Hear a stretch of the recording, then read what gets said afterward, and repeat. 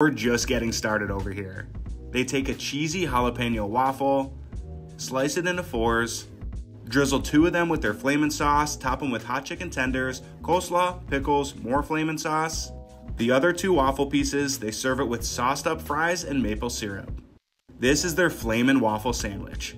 And don't even think about skipping these wings. Crispy, hot oil drenched chicken wings get coated in their spice dust and tossed around in barbecue sauce to look like this. These are their spicy barbecue wings. This barbecue sauce is phenomenal. And for the finale, their Flamin' Smash Burger. A smashed beef patty gets their spice dust on both sides, two slices of melted American cheese. It gets topped with grilled peppers and onions and slid onto a flamin' sauce brioche bun with more spice dust and more sauce. This place has it all. Who's hungry? Got a nice kick of heat.